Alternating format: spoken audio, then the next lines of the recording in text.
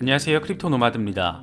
FTX 사태로 인해서 암호화폐 cold wallet에 대한 관심이 그 어느 때보다 높아졌고 저희 채널 구독자분들께서도 라이브 방송이나 댓글을 통해서 개인 지갑에 대한 내용을 다뤘으면 좋겠다 이런 의견들을 많이 주셨습니다.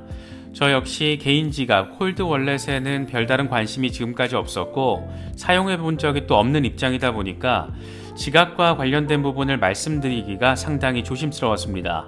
자칫 해당 브랜드에 대한 얕은 수준의 정보를 담은 홍보가 될 수 있기 때문입니다. 라이브 방송 과정에서 적지 않은 구독자분들께서 디센트 지갑에 대한 설명을 주셨는데 번거로운 점도 있지만 조금만 공부하면 익숙해진다. 나머지는 대체로 만족스럽다. 이런 내용들이 많았습니다. 더욱이 올해 초부터 디센트 측으로부터 몇 차례 파트너십 제안을 받기도 했고 국내 업체라서 AS 대응 등이 수월하다라는 점을 고려해서 디센트와 파트너십을 맺기로 결정했습니다. 디센트 측이 저희 쪽에 제안 준 부분은 무엇보다 다른 곳보다 상대적으로 저렴한 가격이었습니다. 한 개를 구매할 때 판매 가격이 17만 9천 원이고 다른 루트를 통해서 구매할 경우에 현재 가격이 14만 9천 원인데 저희 채널의 경우에는 13만 9천 원에 제공해 주기로 했습니다. 두 개를 구매하실 경우에는 판매 가격이 35만 8천 원인데 현재 가격이 27만 원, 저희 채널 구독자분들께는 25만 원에 제공해 드리는 것으로 결정했습니다. 아무래도 가격 메리트가 매력적인 부분이 있어서 눈에 띄는 뭐 그런 상황이었습니다. 그동안 영상 댓글과 라이브 방송에서 질문 주셨던 디센트 지갑 사용과 관련된 부분은 제가 알고 있는 선에서 또 디센트 측의 답변을 토대로 언급해 드려 볼까 합니다. 저 역시 디센트를 비롯한 cold wallet을 사용한 경험이 없기 때문에 이와 관련해서는 이미 디센트를 사용하고 계신 구독자분들의 도움이 필요합니다.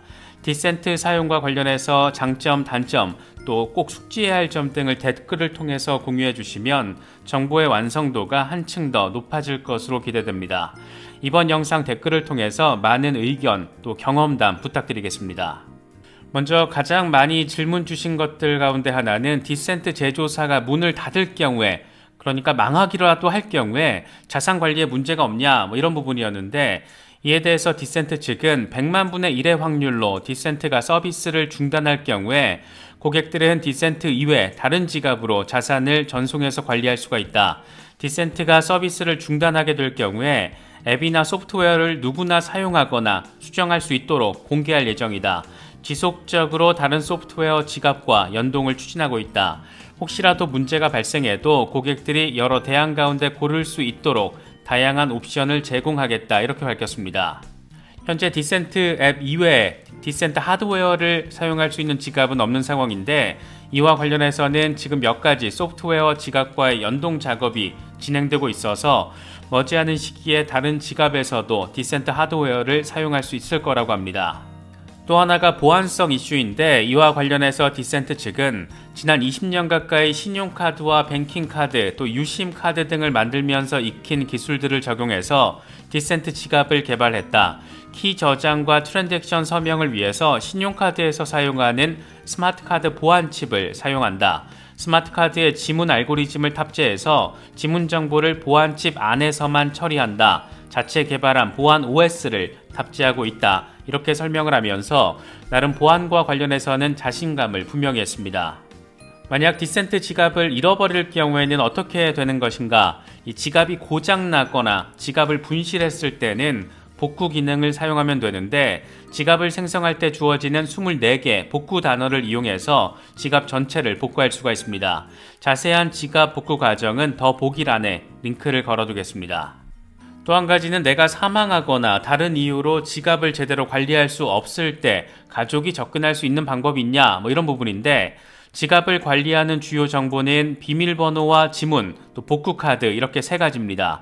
만약 가족과 복구 단어를 공유했다라면 가족이 디센트 하드웨어를 초기화한 뒤에 지갑을 복구해서 사용이 가능합니다. 물론 초기화를 위해서 비밀번호가 필요하기 때문에 비밀번호와 복구 단어를 미리 공유해 둬야 합니다. 또 하나는 지문 등록인데 디센트 wallet은 지문을 두 개까지 등록할 수가 있습니다. 두 번째 지문으로 가족의 지문을 등록했다라면 지갑을 켜고 코인을 다른 지갑으로 전송할 수가 있습니다. 그러니까 만약이라도 지갑 주인인 내가 부재할 경우를 사전에 대비하기 위해서는 미리 비밀번호와 복구카드를 가족과 공유하고 그게 아니면 미리 가족의 지문을 등록시켜 놓으면 된다라고 정리할 수가 있습니다. 좀 더 실무적인 내용으로는 국내 거래소에서 디센트로 전송할 때 travel rule로 인해서 이체 한도 제한이 있는데 이건 어떻게 해야 하냐 이런 질문들도 많이 주셨습니다. 먼저 travel rule은 적용되기 때문에 이걸 우회하는 여러 가지 방식들이 사용되고 있습니다. 이건 라이브 방송에서 구독자분들이 말씀 주신 부분과 디센트 측의 설명을 종합한 것이어서 실제 사용자분들이 댓글을 통해서 의견과 설명 더해주시면 좀 더 실질적인 도움이 될 수 있을 것 같습니다. 먼저 이더리움 계열의 코인은 업비트에서 메타마스크 지갑으로 보내는 게 지원된다라고 합니다. 디센트 지갑이 메타마스크와 QR로 연동된다고 하니까 이 방법으로 이동을 하면 됩니다. 비트코인과 XRP 등 다른 코인의 경우에는 바이낸스 등 해외 거래소를 통해서 디센트로 보내는 방법이 있습니다. 저는 개인적으로 이게 더 수월할 것 같아서 이 방법을 사용해 보려고 합니다. 이전 라이브 방송을 통해서 코인원을 통해서도 디센트로 보내는 방법이 있다 이렇게 사용자분께서 언급을 주셨는데 이와 관련해서는 추가로 댓글로 설명을 주시면 감사드리겠습니다. 디센트 지갑은 국내 업체가 개발한 것이기 때문에 AS 등 문의를 하기 쉽다는 점도 이번에 파트너십을 결정한 하나의 계기로 작용을 했습니다. 홈페이지를 통해서 문의할 수도 있고 02-1833-4022로 전화해서 유선 문의도 가능합니다. 이와 관련해서는 역시 더보기란에 기록해 두겠습니다. 저의 경우에는 다음 주쯤에 배송을 받으면 XRP 일부를 디센트로 전송시켜 보려고 합니다. 저 역시 처음 사용하는 것이고 적잖은 분들께서 디센트를 말씀해 주셨고 때마침 디센트 측이 올 초부터 몇 차례에 걸쳐서 협업 제안을 주기도 했고 국내 유선 문의도 수월하기도 해서 저는 디센트를 선택했습니다. 저희 채널을 통해서 구매하시면 추가 할인이 주어진다라는 점도 고려했습니다. 디센트 지갑과 관련해서는 기존 사용자분들이 더 실질적인 경험담을 제공해 주실 수 있을 거기 때문에 이 부분은 라이브를 통해서도 라이브 방송을 통해서도 함께 이야기 나눠보는 시간을 마련하도록 하겠습니다. 저 역시 직접 사용해 보고 어떤 점이 장점으로 느껴지고 단점으로 느껴지는 부분은 어떤 방식으로 보완을 할 수 있는지 직접 사용을 해보고 좀 더 많은 이야기 말씀드리도록 하겠습니다. 디센트 구매 링크, 문의사항 등 여러 가지와 관련해서는 더보기란을 참고해 주시면 됩니다. 이번에 준비한 영상은 여기까지입니다. 시청해 주셔서 감사합니다. 지금까지 크립토 노마디였습니다.